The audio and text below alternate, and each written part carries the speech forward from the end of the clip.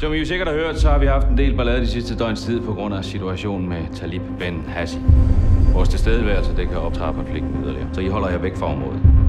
Det er jo bare 8 timer med ham der hurtigbrillen, ikke? Jeg har brug for, at der er nogen, der sådan lige kan holde mig lidt i korsnår. Var planen ikke, vi skulle holde os væk derfra? Se dig omkring. Det her er ikke Danmark.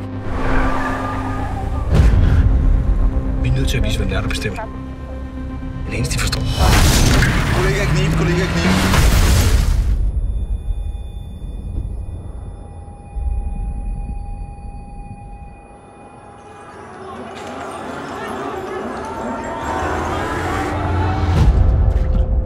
Hvordan kommer vi ud herfra? Hvorfor skulle jeg sige til dig? Han er den eneste, der ved, hvor de små sataner de er. Der. Og hvor er vi? Der bliver holdt øje med dig.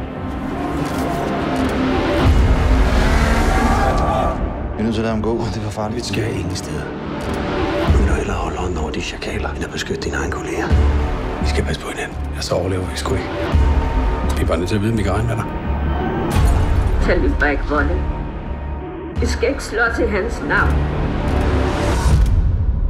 Hvis man altid bliver behandlet som noget, man ikke er, så ender man sgu med at tro på det.